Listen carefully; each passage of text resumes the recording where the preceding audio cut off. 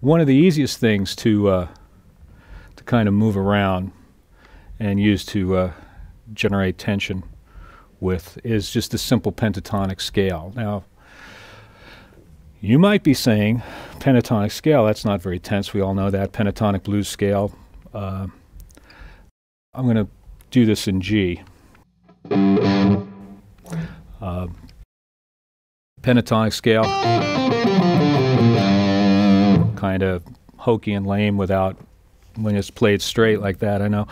But uh, it's the first thing that I learned to play on guitar, and, and I and I think to this day it's something that I, I, I go back to, and I and you know every culture has a every culture has a, a pentatonic scale that's related directly to its what's seen as its indigenous folk music, and and uh, that seems to be art.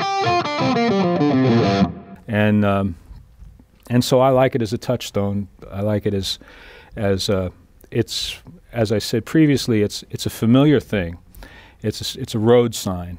Uh, it's a you know it tells you that tells your listener that they can they can trust you, uh, and uh, but you can also flip it around. And one example of that is I will take the pentatonic uh, and I will I will I'll move it up a half step from.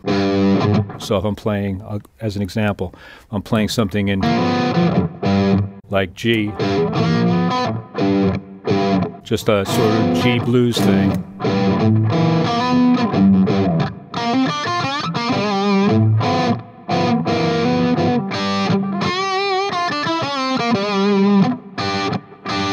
Okay, you got that in your ear, your mind's ear. Now I can do this just by sliding it up a half step. And this is something that I learned from a, an interview with uh, Larry Carlton in 1980 in, uh, in Guitar Player. And if you guys can find that, it's where it's, it's I've, I've, I've built a good chunk of my recording career on the stuff I learned in that one interview. I'm going to play you a thing now that's, that's I'm just going to play in the key of G.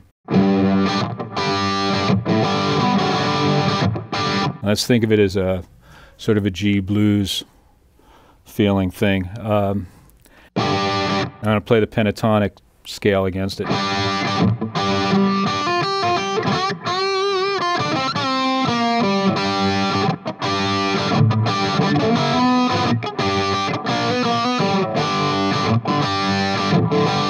So that should that should drill the G tonality into your head.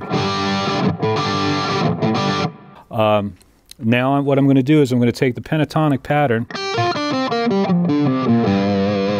and I'm going to move it up just a half step.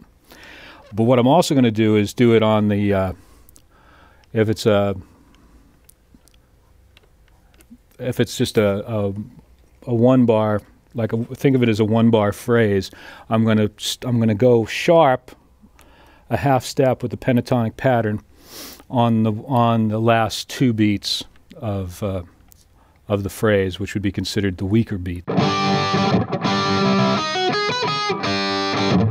Kind of like that, but.